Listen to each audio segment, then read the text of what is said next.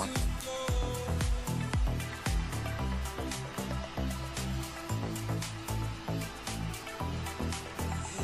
At T plus one minute in, an Electron is in the air and onward to the moon for the capstone mission. That rocket is soaring through this nighttime sky, now past uh, now past 14 kilometers in altitude in these past few moments. Now things look to be continuing nominally, which means that shortly Electron will come up against max Q, or maximum dynamic pressure.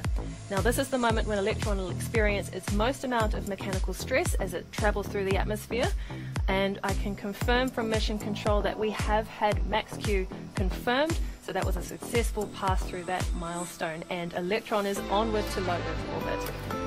So propulsion appears nominal on that first stage, and the Photon lunar upper stage and capstone spacecraft remain healthy inside the rocket's fairing. We are coming up soon on three events in the launch timeline that will occur in very short succession. So soon, the nine Rutherford engines powering Electron right now will diminish their power and then shut off completely.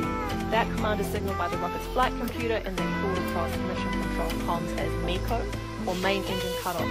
Now once that action is complete, Electron will separate its first and second stages. The main booster will continue to slow and remain behind while the second stage carries on with the mission with the ignition of its single Rutherford engine. And we have had MECO confirmed. Separation for the mission. So just to confirm from mission control comms, we have had MECO uh, and second stage separation and it's carrying on now, as you can see in that animation.